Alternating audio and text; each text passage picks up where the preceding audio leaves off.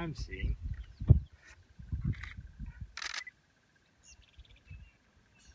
I'm sure if we not turned out some biscuits there. You see these one, two, three, four babies. They're so adorable.